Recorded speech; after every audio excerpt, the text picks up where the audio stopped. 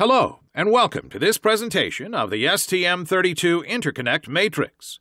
It covers the main features of this matrix, which is widely used to connect various internal peripherals between each other. The interconnect matrix integrated inside STM32 products provides direct connections between peripherals.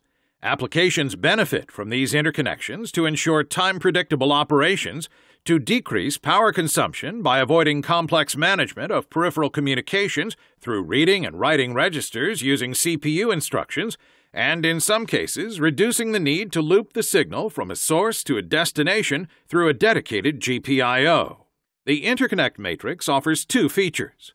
First, it ensures direct and autonomous connections between peripherals allowing removal of latency in regards to software handling, thus saving GPIO and CPU resources. Second, the interconnection between certain peripherals can even operate during low power modes. The main peripherals having direct autonomous interconnections are timers, analog IPs, clocks, extended interrupt and event controller, digital filters for sigma delta modulators, USB, and system error for the connection sources and timers, analog IPs, digital filters for sigma delta modulators, and direct memory access controllers for the connection destinations. Peripherals can be interconnected using the interconnect matrix even when the circuit is in a low power mode. The low power modes that can be used are run, sleep, and low power sleep modes, except for the USB to timer 2 connection, which can only be used in run and sleep modes. The connections from the real-time clock or comparators to low-power timers can also be used in Stop 0, Stop 1, and Stop 2 modes for low-power timer 1. The interconnect matrix is mostly used for synchronizing or chaining timers, for example, allowing a master timer to reset or trigger a second slave timer.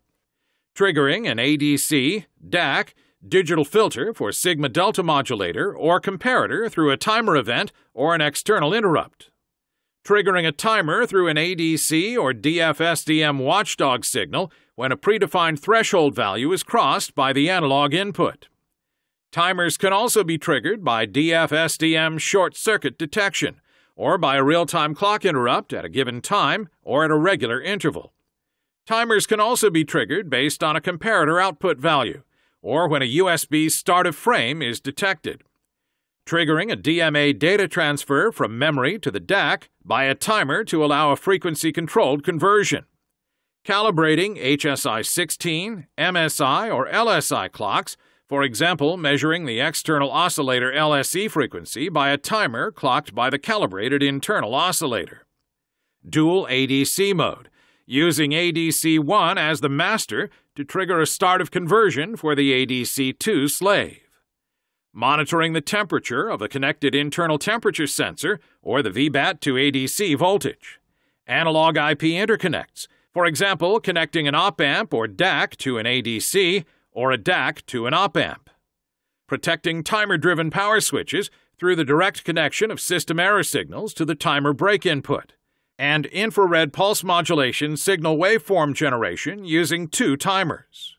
On STM32L45X, 46X, 49X, 4AX devices, the internal ADC results can be directly connected to the DFSDM inputs in order to use the DFSDM filtering capabilities.